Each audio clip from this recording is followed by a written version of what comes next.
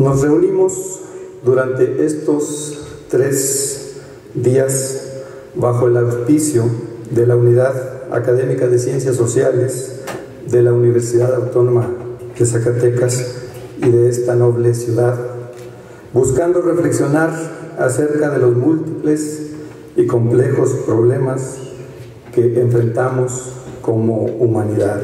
Hay una gran coincidencia de muchos de quienes estamos en la Secretaría de Educación y en otras dependencias con el propósito y con la esencia de este quinto Congreso Latinoamericano, en donde se reflexiona del impacto de un capitalismo decadente y rapaz.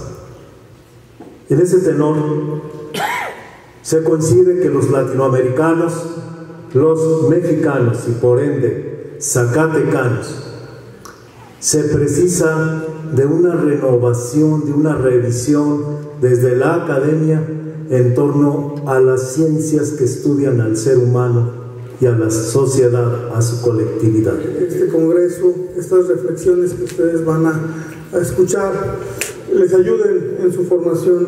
Fundamentalmente para ellos eh, nació este evento, se ha mantenido para la formación integral de los estudiantes de la universidad y de otros lugares. Ojalá que de verdad les ayudemos mucho, igual que a los ponentes, quienes les agradezco también su gentileza de venir a expresar, a debatir todas sus ideas, sus posturas.